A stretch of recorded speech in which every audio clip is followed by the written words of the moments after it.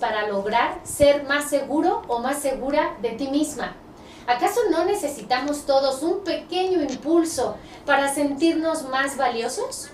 El problema aquí es que por más que hacemos una clase de esfuerzos, resulta ser que no acabamos por sentirnos suficientemente queridos, suficientemente aceptados y vamos por ahí desplegando actitudes de inseguridad, como por ejemplo ponerle mucha crema a nuestros tacos o el extremo contrario, querer pasar desapercibido, anulando nuestras propias virtudes y nuestras propias capacidades.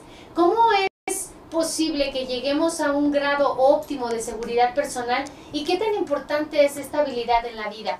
Sabemos porque lo acabamos de escuchar en el noticiero, que todos necesitamos este impulso para seguir adelante. Sentirnos más seguros nos va a evitar ser violentos, nos va a evitar violentar a otros, sentirnos más seguros nos va a, lanzar en una dirección en donde no estemos rogando por un amor o poniéndonos en problemas con nuestros... Eh, compañeros de trabajo o siempre envidiando lo que tiene el otro.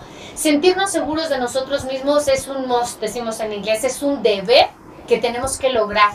Y para lograrlo necesitamos no solo psicoterapia, no solo una orientación profesional desde mi área, por ejemplo, sino también un esfuerzo tuyo por querer tomar esta iniciativa en tu vida. Ok, ahí te va.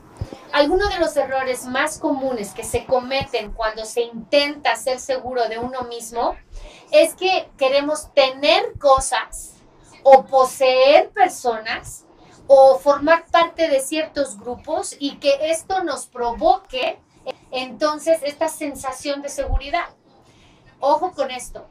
Si tu seguridad depende de alguien o de algo que puedas perder, entonces estás en graves problemas porque en cualquier momento podrías perder alguna de esas cosas y entonces quedarte totalmente desprovisto de esta sensación de sentirte capaz y merecedor en la vida. Por eso es que para sentirnos seguros y seguras tenemos que ir un paso más allá. No creas que por tener dinero, una esposa o, una familia o ser guapísimo, guapísima o traer el carro más pro del mundo vas a sentirte seguro.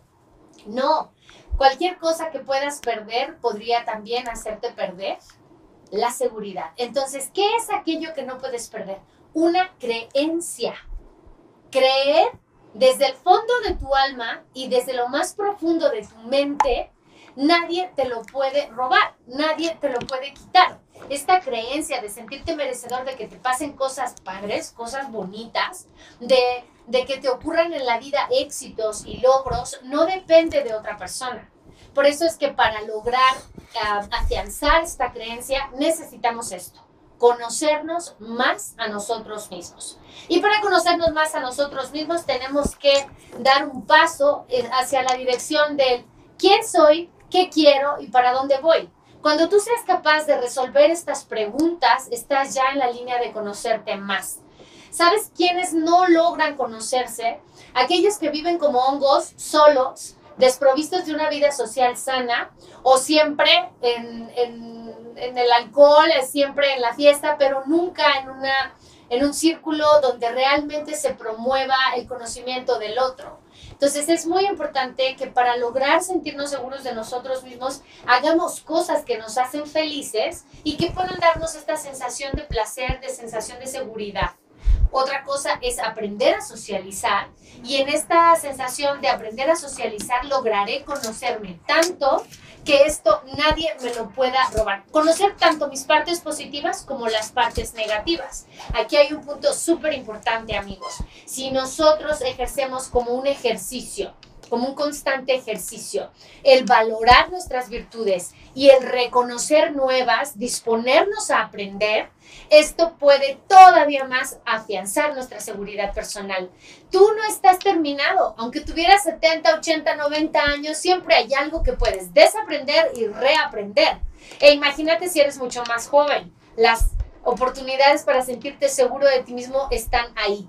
Un último tip no dependas de otros que te aplaudan que te celebren, que te animen, porque esto no te da una felicidad permanente, ni tampoco te da una sensación de seguridad en ti mismo. ¿Por qué no? Porque otra vez habla de que cuando él o ella decida no celebrarte, no aplaudirte o no reconocerte, tú otra vez estarás en las gradas de la inseguridad y de la depresión.